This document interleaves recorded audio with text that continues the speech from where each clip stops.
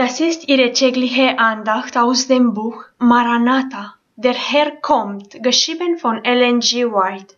Fürbitte für andere. Wahrlich, ich sage euch auch, wenn zwei unter euch eins werden auf Erden, worum sie bitten wollen, so soll es ihnen widerfahren von meinem Vater im Himmel. Matthäus 18, Vers 19. Ich erinnere mich daran, wie es in Battle Creek war. Damals fühlten sich einige für die Unbekehrten verantwortlich und für Leute, die im Dunkeln waren und kein Licht sahen. Daraufhin wurden Gebetsstunden angesetzt, um die Kraft Gottes zu ihrer eigenen zu machen. In jedem Fall haben die himmlischen, mit Vernunft begabten Wesen mit diesen Bemühungen zusammengearbeitet, so dass Seelen gerettet wurden. Wenn die Gemeinde viele Glieder hat, sollen sich die Glieder in kleine Gruppen aufteilen, um nicht nur für die Gemeindenglieder zu wirken, sondern auch für Ungläubige.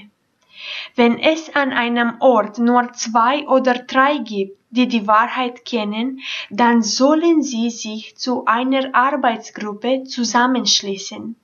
Sie sollen das Band ihrer Gemeinschaft nicht zerreißen lassen, sollen in Liebe und Einigkeit zusammenhalten, einander im Vorankommen ermutigen, wobei jeder durch den Beistand der anderen Mut und Kraft bekommt. Sie sollen Christus ähnliche Langmut und Geduld zeigen keine übereilten Worte sprechen und die Gabe der Sprache dafür einsetzen, einander im allerheiligsten Glauben aufzubauen. Sie sollen in der Liebe, die Christus hatte, für die arbeiten, die sich außerhalb der Herde befinden. Indem sie in Christi Namen arbeiten und beten, wird sich ihre Zahl erhöhen. Es gibt Heimatmissionsarbeit zu tun, und wir hören die Ausrede, solange es in unserem Land so viel Sünde und so viel zu tun gibt, warum sollte man dann einen derartigen Eifer für fremde Länder an den Tag legen? Ich antworte, unser Arbeitsfeld ist die Welt. Der Erlöser hatte seine Jünger angewiesen, in Jerusalem mit der Arbeit zu beginnen, dann durch Judäa und Samaria zu ziehen, bis an die äußersten Gegenden der Erde. Nur ein kleiner Teil des Volkes nahm die Lehre an, doch wurde die Botschaft von den Boten rasch von einem Ort zum anderen getragen. In ein Land nach dem anderen wurde die Fahne des Evangeliums aufgerichtet.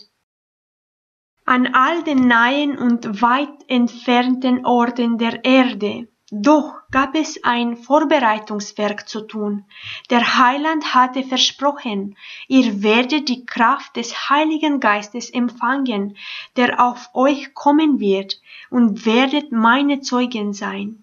Apostelgeschichte 1, Vers 8.